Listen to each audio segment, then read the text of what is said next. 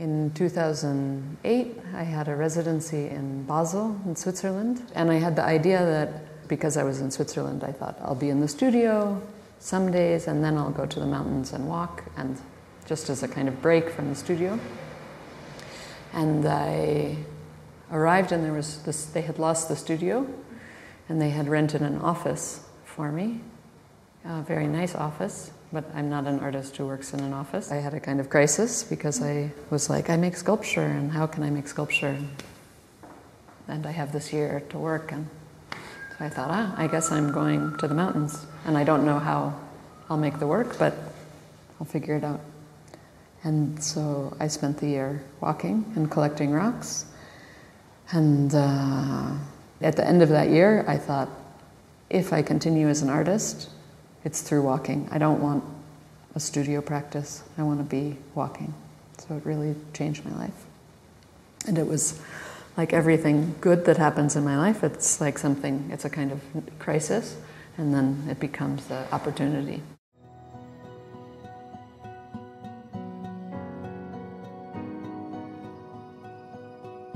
I don't think I choose the books, and I don't think the books choose me, so, but somehow they happen to get we meet each other. I mean, all the work is indexical. I think I'm a very simple thinker, and so I like the obviousness of um, a kind of transparency of my relationship to materials.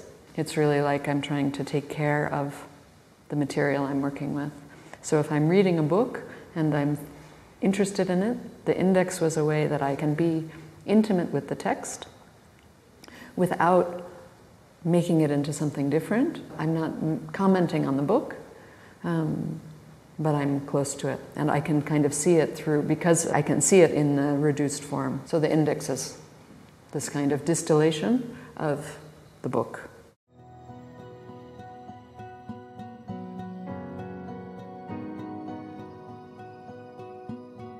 Again, not sort of uh, representing the landscape, but I'm part of the world. It's been important to me to also feel like a rock and also feel like a plant and also feel like other kinds of animals. So the landscape is like the umbrella that holds all of these things together, right? The animal and vegetable and mushroom worlds. Like we're all materials on this planet.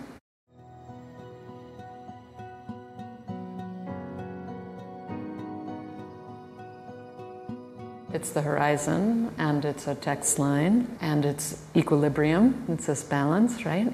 And it's our sensation of moving, of walking. The proprioception, the way we sense our being in the world, is in relation to the horizon and sky and ground. And in a way, it's, a, such an interesting thing because I'm very interested in uh, things not being uh, this or that, one or the other, competition, you know.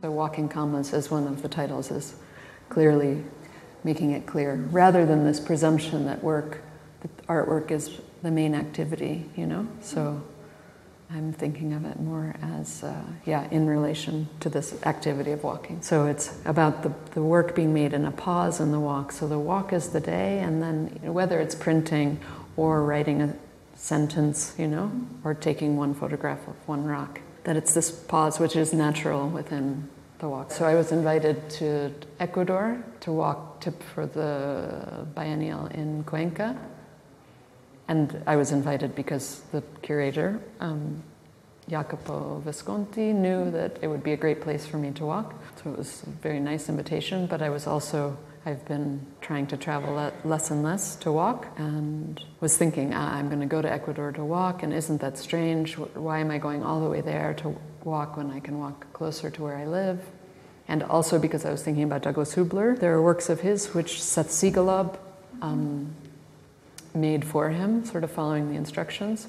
So I realized there was this great opportunity, and also it was sort of like a, it was an opportunity to share the activity because there was something about, for me, the importance of the rock in my hand, but also I saw this possibility for the proxy, which I thought was quite beautiful, of that someone else could make these walks. And it was the people from the Biennale found this woman, this young woman who is a kind of trail guide, which is very unusual for a woman in Ecuador to do, and she really kind of understood it. And so I was walking simultaneously with her in Cape Breton, and she was walking in Ecuador, and it was a sweet simultaneity also.